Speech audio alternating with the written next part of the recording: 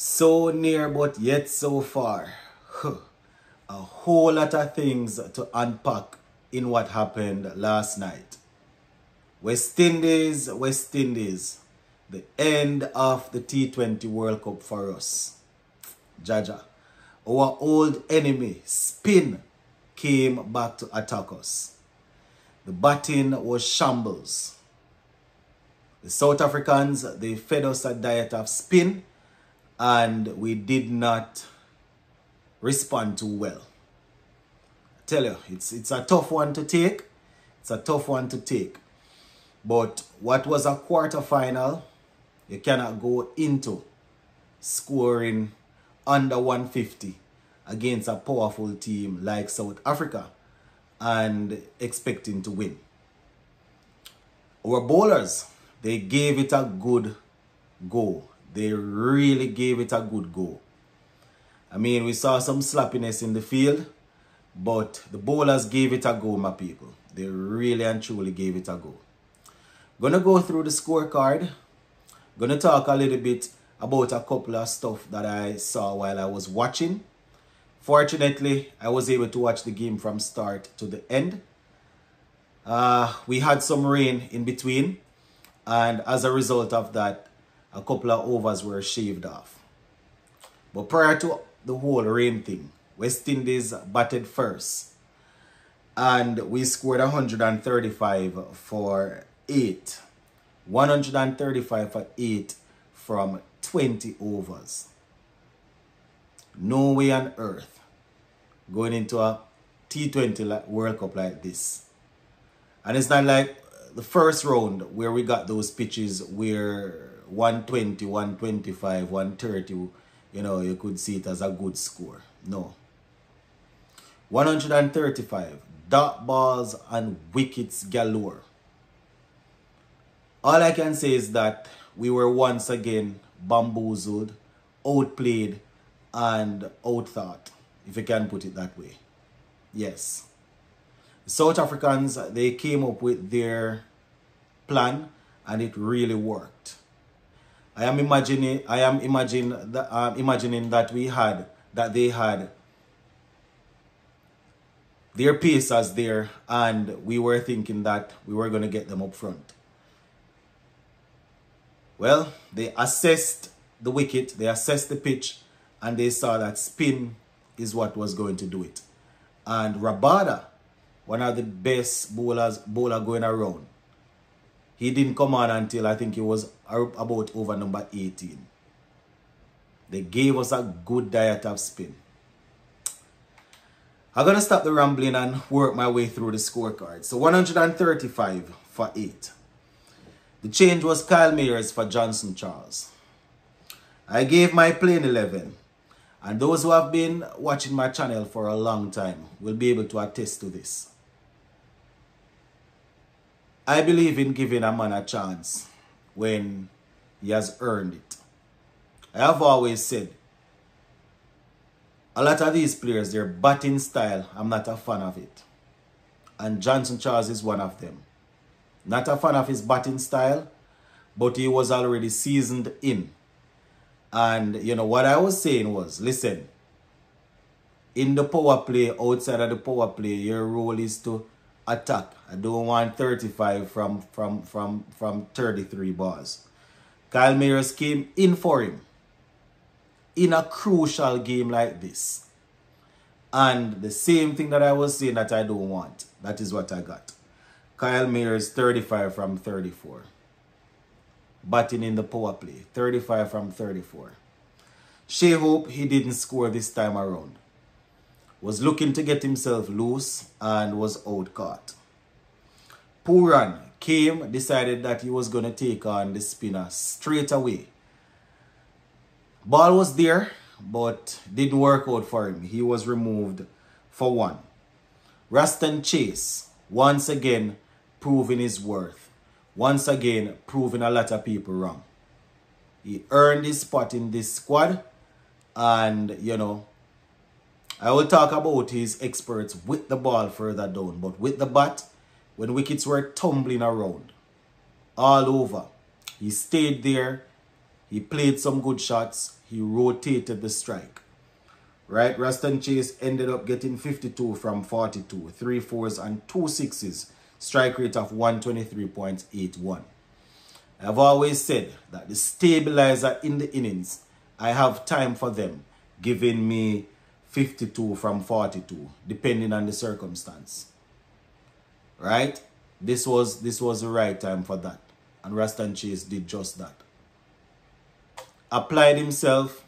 Unfortunately, the guys that were expected to bat around him, they didn't bat too long. Rovman Powell, we know his situation already when it comes on to batting spin. I have been preaching the same thing before the World Cup. If you are batting inside my top five or in my top six in a, in a team, and you're not bowling, you're not the wicket keeper, you're not doing anything, you need to be scoring runs. You're playing as a specialist batsman. Every time you come up against a spinner, you can't always look clueless and, and get bamboozled. I mean, not every time, you know, we have seen him score off spinners. But it can't be a case that you're going that, that, that so often you're going to get bamboozled. No even see the ball, get drawn out your stump and get stuck. Um, or, or the crease and get stumped. So the captain wasn't able to contribute. Right? He made one as a matter of fact. Rutherford didn't score. Andre Russell, 15 from 9. Akeal Hosein, 6 from 11. Now, this is not even hindsight. While I was watching the game, one ball remaining. And I thought that Russell was going to say, listen, Hosein, if you get a four, take it. Get a six, take it. But I need to be on strike for the next over. Man, them Hosein played a ball and went straight for that single. So he would be on strike for the beginning of the next over. I mean, I'm not saying that Hosein cannot handle himself. I'm not saying that he cannot bat. But maybe I'm looking at it wrong. But while I was watching the game, my immediate thought was, even before the, the ball was bowled, final ball, do not, you don't need, at this, at this point, Russell had started to tee off. He was teeing off. So I really wanted him to start um, to face the sec um, start to uh, to face the, the next over. Hosein played one straight to Nortje, I think it was, and Russell. You know, didn't didn't put in the dive. you understand? Probably a dive would have saved him. But um, personally, I don't think I, I don't think they needed to to have done that. Go for the four, and and it and it's basically the same thing that happened when South Africa were chasing right? Rabada had the last delivery of, of, of, of the of the penultimate over. And uh, I am sure Jansen probably said to him, listen, if I get a four or a six, take it, but I need to face the, the I need to be the one facing at the beginning of the next over. Unfortunately, Chase pushed one wide and Rabada struck it through the covers for four. Jansen was on strike for the beginning of Obed McCoy's over. So that is what I was thinking when Russell was batting. But, you know, it is what it is. Hosein made six. Um, Alzarri Joseph, he made a handy 11 from seven. Motie was left not out on four from seven. So 135 for eight. Right? 135 for eight. And it so happened that the rain came right after we took the first couple of wickets. And then it turned into a 17 over affair there. Now, bowling for uh, South Africa, we had Marco Jansen, 2 overs, 17 runs, 1 wicket. Aiden Markram, 4 overs, 28 runs, 1 wicket. Bowling from the top, bowling from the front. Spinner, bowling, bowling all 4 overs. Maharaj, 4 overs, 24 runs, 1 wicket. Uh, Nortje, 4 overs, uh, 26 runs, didn't pick up any wickets. Uh, Shamsi, 4 overs, 27 runs, 3 wickets. Rabada, 2 overs, 11 runs, 1 wicket. Total team performance there from South Africa. I mean, they almost let it slip in the back end based on the work that we put in our bowlers. But good team performance here from South Africa. Right? They went out there, they were business-like. They read the pitch well. They did all that they, that needed to be done in terms of um, you know, rotating their bowlers, getting the spinners on, and, you know, they took care of business. So, 135 is all we must add. South Africa, they were given 123 to win, right? 123 to win based on the Duckworth-Lewis system. They ended up on 124 for 7. Now, as I said, the West Indies bowlers, they did very, very well. They did extremely well, my people. To bring it right down to the last over there, they did well. Going into the last over, I think they needed what? Five Ob Obed McCoy's first delivery went for six, so the game finished there. The first delivery from the 28th over. But to bring it down there was excellent. And I must say, hats off to Alzarri and Roston Chase.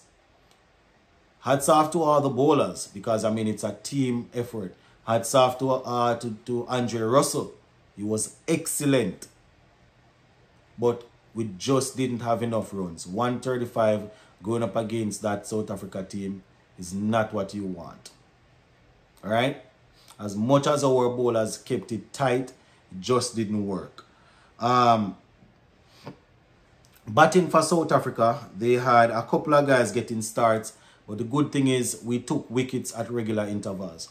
Just didn't have enough runs to see us across. Um, Stubbs, he made 29 from 27. Klaasen made 22 from 10.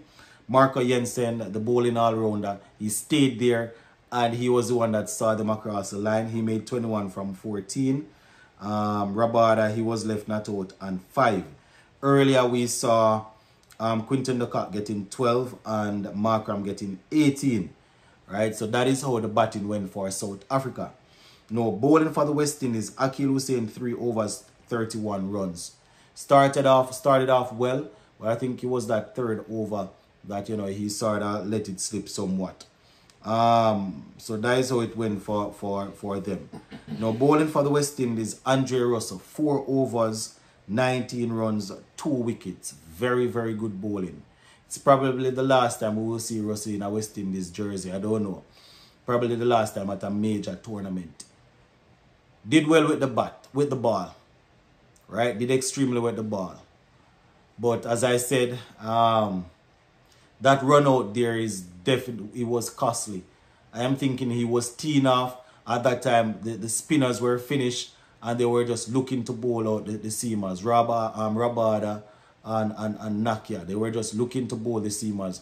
Russell had already taken them on and got a, got a couple of um, boundaries and things. So, you know, the way in which he, he got out there, it was really tough to take. Uh, Alzarri Joseph, 4 overs, 25 runs, 2 wickets really and truly, I am proud of Alzarri. Watching the game, I was like, come on, Alzarri. You have to stand up. You have to stand up and be counted. And to see him bowl four overs, two wickets, 25 runs with his pace, controlling it.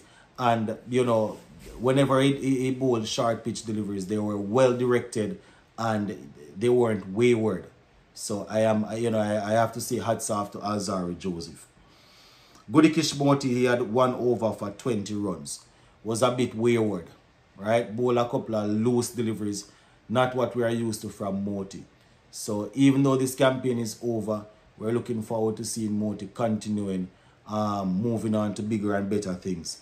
Obed McCoy, 1.1 overs, 15 runs. Now his first over, I think it ended up going for 9. But he had quite a few wides in there. I think he had about 3 wides in that first over right? So never, never, never um, what we need wasn't what we needed at all. Um, Roston Chase now, the man that bowled us almost to victory. Three overs, 12 runs, three wickets.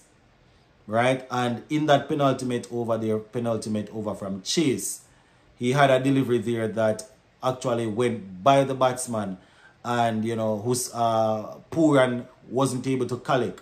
As a result of that, they I think they got two, right? They got two, and then uh, they got a four off his final delivery, which brought it down to five for, for uh, to get from that um, last over from Obed McCoy, and uh, as you can imagine, we weren't able to to see it across the line. So that is basically a recap of the scorecard, my thoughts as relates to the game. We're gonna have to have a live show to unpack everything But when it comes on to this game, I just want to say congratulations to South Africa. They bowled well. I don't want it to seem as if our guys were out there batting and the South Africans were just throwing the ball like this, throwing the ball like this, and we failed to hit it. They came up with a plan, and the plan came together really well. It's well known, it's no secret that spin is something that um, we, are, we, we, we are afraid of. You understand? And it really came around to haunt us. Shamsi, we know he's a talented spinner. Man was ranked at number one for, for quite some time. I doubt he's anywhere. He, he's not there now. But, you know, he came into uh, in last night's game and he really and truly um, gave us a nice little reminder of his quality. Right? He gave us a good reminder of his quality. Ended up um, getting the man of the match, actually, my people. That's, that's Shamsi. So, that is basically it for this one, my people. We're going to leave it right here for now. And we will definitely have a live show soon to unpack all of this. Just wanted to do this recap and talk about the game while it is fresh in my mind. I know there are probably a few things that I am that I missed, couple of misfeel and, and, and all of that, but we will unpack that in another video or in a live show. Big up.